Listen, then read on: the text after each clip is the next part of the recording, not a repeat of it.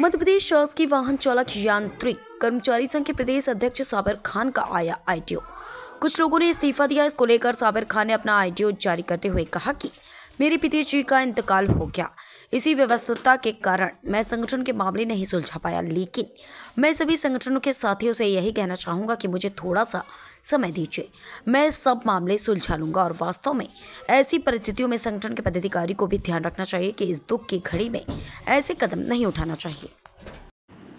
सम्मानित साथियों, में साबिर खान। आज बड़ी पीड़ा के बीच में मेरे को आप सबके सामने अपनी वॉइस रिकॉर्डिंग डालना पड़ रही है, क्योंकि मेरे फादर कई दिनों से बीमार थे। हमारा पूरा परिवार उनकी सेवा में लगा था।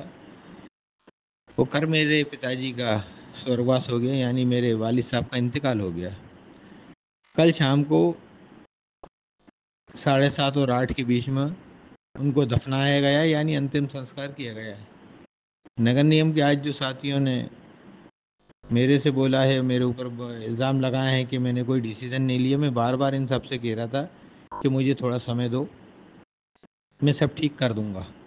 किसी ने अगर गलत बोला है तो उसके ऊपर भी एक्शन लूँगा। लेकिन इन लोगों को सब्र नहीं हुआ। और मेरे पिताजी के जाने का अफसोस, मेरे ख्याल से इन लोगों का अफसोस हुआ भी नहीं, क्योंकि इनके पिताजी तो थे नहीं। मेरे ही पिताजी थे वो तो। मेरे ही वालिद साहब थे। मुझे तो बहुत अफसोस है।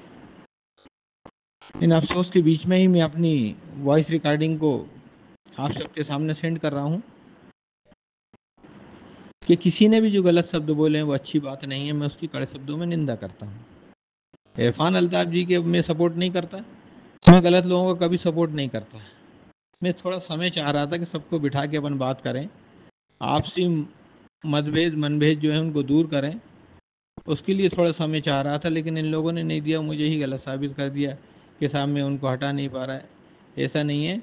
मैं तो सबसे ही कह रहा था, जहाँ भी बैठकों में बुलाते थे, उस व्यस्त समय में मैं इन लोगों की बैठकों में भी गया, इनसे भी चर्चा करी, और भी दूसरे लोगों ने बुलाया, वहाँ भी गया, जहाँ पर यह शब्दों का प्रयोग किया, करा मैं उस, इस उद्देश्य से वहाँ पर गया था कि भाई उनको भी एक करूँ, उनको भी समझाऊँ, आपसी में ये हमारे नगर नियम के कर्मचारी नहीं उलझे। साथियों, ये मध्य प्रदेश शासकीय वाहन चले यांत्रिक कर्मचारी संघ बहुत बड़ा संगठन है, शासन से मान्यता प्राप्त है। हम इसमें सबका सम्मान करते हैं। मैं किसी का अपमान नहीं करता, ना किसी को करने दूँगा।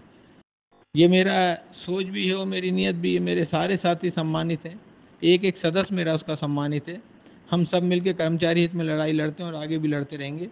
जिन साथियों ने भी आज ये बोला है कि हमने साहब इस्तीफा दे दिया है, प्राथमिक सदस्य से भी इस्तीफा दे दिया मैं उनको अपना विरोधी नहीं मानता।